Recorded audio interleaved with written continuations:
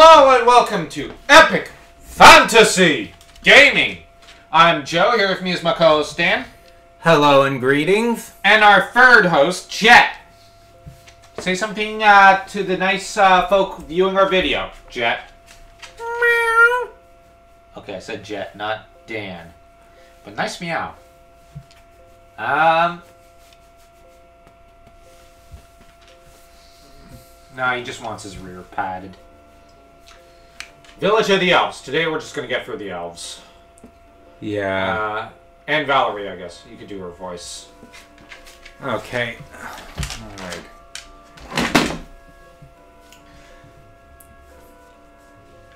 Uh, alright. Death, that. That's That's enough! Listen to me! Uh, she's a bombshell, so no. That's no. Death. I'm having. Some respect! I'm trying to find. uh... just do a feminine voice.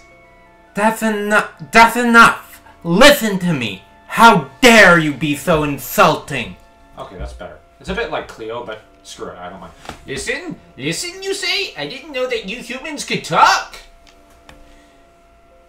So what have you what do you have to say? Have you thought of a good way of exterminating us? With your tiny minds? That's right. Kwanda is planning something truly frightening. Not only is he going to wipe you out, he's planning to burn down this entire forest. This forest that also happens to be my home. Alright, you can do the village elder. You humans are too stupid to realize such a task. Hey, lock this one up. And it's the first time I've seen an elf depicted with a beard. That's so weird. Alright, just go forward. It's- we I don't think we can actually shop. Okay. You could do her. Here, let me get this, the controller, because the dog's tangling himself up in it. Yeah. Okay. You do Sophina. Oh, Kirkus, why did you leave me alone? I was lonely. Uh, maybe with an accent. Ugh, Kirkus, why did you leave me alone? I was so lonely. I did not. I did not mean to leave you alone. Uh, excuse me for my voice. I'm a little under the weather. How terrible, going off alone. You should have taken Louder. How terrible! You shouldn't. You shouldn't have gotten gone alone. You should have taken me with you. Was it fun, Fun outside? Nay, I mean, I didn't go out to play, you know. I didn't take you because I didn't want you in danger. Of course. Alright, we have to talk directly to Z. Uh, genocide desiring. No, he. Suicidal elf. Yes. Garketh, why did you leave without my permission? What did you do out there? Went swimming. Technically true. Yeah. There are humans who are fighting the Empire too. I left to get help from the Liberation Army, as they call themselves, to protect the village of the elves. Ugh, protect this village? What are you talking about? We don't need humans' help to protect ourselves. It's true that at one point, Kwanda's men had the upper hand, but they're humans after all. They've been behaving themselves recently. But shut up, Karkif. You left the village without permission, and dared to return with filthy humans. Lock them all up. Yes, sir. Ugh, what? Why? Why, Grandpa? Why are you arresting Karkif? Because Grandpa, like, gave up knitting and needs a hobby. Stallion's yours. Well, if it isn't Chicken, Harter Kirkif, who turned and ran when he found out the Imperial Army was attacking. I actually really like that. Yeah, he- he's a, he's essentially a speedster, so. Do it louder next time. No, Oh. not, not again. Just slightly louder as always, but like, damn, bro, like, sorry, I had to geek out. You're now. I wish Stallion had a bigger role, mm-hmm. just so you could do that voice again. Hey, don't you remember me? Stallion, the fastest pair of feet in the village. Didn't you know? You should have seen how fast I ran when Kwanda attacked. Ha ha ha ha! Pardon? Sorry, but it, yeah, that's actually how the characters typically behave around Stallion. It's like, pardon? yes, yes.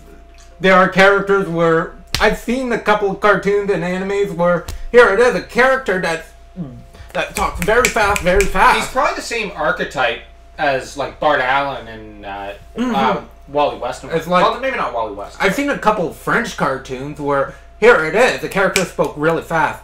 yeah. Who the hell are you? Liberation Army? Come to help the elves? I guess we're all fools here. That's an Imperial uniform. Yep, I was a fool too. I risked my life to betray the Empire. And look at me now. How stubborn these elves are. They refuse to believe what I know. So what is it ye know?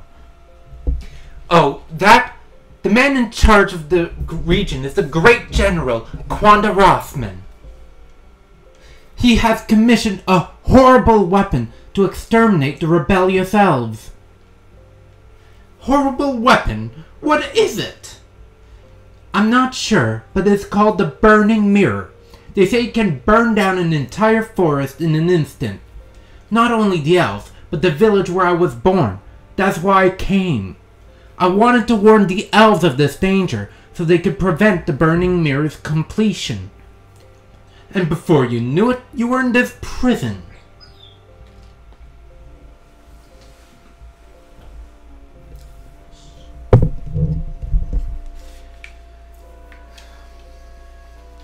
No, we're not gonna do it again. Okay. Um, Greek. Who is it? Sylvina. Grandpa said I should not come here, but I have to ask. Ask what? Great, I sound like Sylvina there. Tell me, Kakis, why are you hung, so hung up on humans? Humans act big, yet they're dead after only 50 years or so. Okay, say the last part like it's the most obvious thing in the world. Humans act big, yet they're dead after only 50 years or so. I like a bit of the confusion in your voice. Why bother with such lowly creatures? Dead after only 50 years or so? What an awful thing to say. Listen to me, Sylvina. It's true that humans dislike elves and dwarves. We look down on humans. The dwarves detest us. Isn't it? Is it na- not sad? After all, what's the true difference between us? Why can we not get along? I just don't understand it. It's very sad. Kirkus, I'm sorry, Kirkus. I don't understand what you're saying. I just can't. I just cannot trust humans, and dwarfs scare me.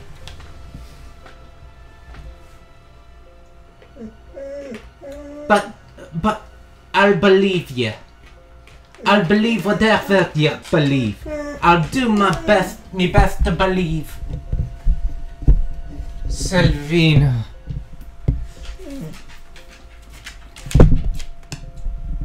I think it ended up clicking off. Uh, there. Here's the key to the cell. Do you think I'll end up in here for doing this? I doubt it. She is the princess. Mm-hmm. Ha! I stallion sh- shall show you. Ha! I, I stallion shall show you how fast I can run. I- incredible. Kirkis, you run too. You can't. You cannot run that fast, of course. Nay, I cannot run away. No, okay. Nay, I cannot run away. I have to do something about that burning mirror that Valeria was talking about. What can you do? I have an idea. Master Tyre, northeast of this village is the village of the dwarves. They must know something. Let's get their help.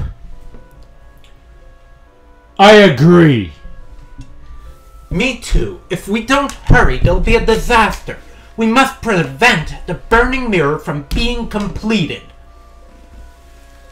Kirkis, are you going to the, that dwarf country? They say dwarfs eat elves.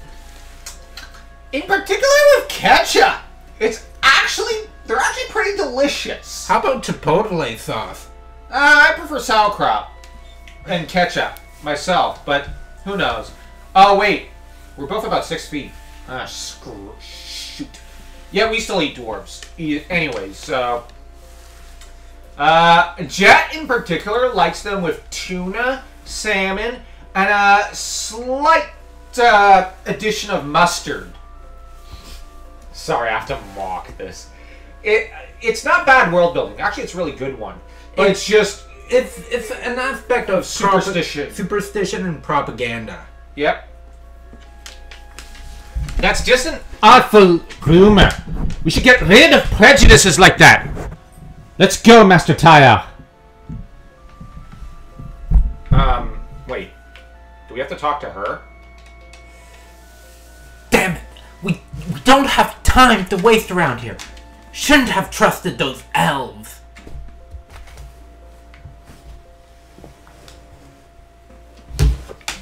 I know we're gonna lose a party member so that we can get Valeria in Yeah. the party. I'm pretty sure that's gonna happen. Um.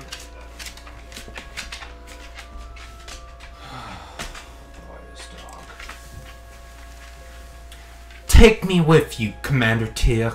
I want to help protect this forest. Now say it like you're Cheryl. Uh, what was it? Carol Channing. Channing. No, no. Valeria will join pa- the party. Reduce membership by one. All Okay. right. Uh, I say Le Pas. Yeah, she is a short-range combatant.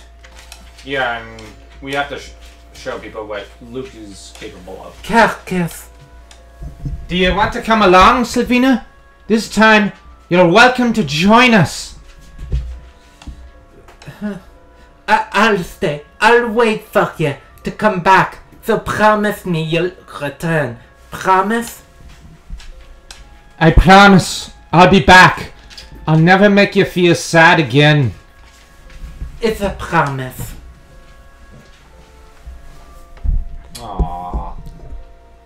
Guess what? He actually keeps that promise. Darn! There's no place in a dark fantasy story like this. I can't stand this romance stuff. I'm kidding. Alright. So, if you like this video, like, share, subscribe, leave a comment. And ring that notification bell. Yepers!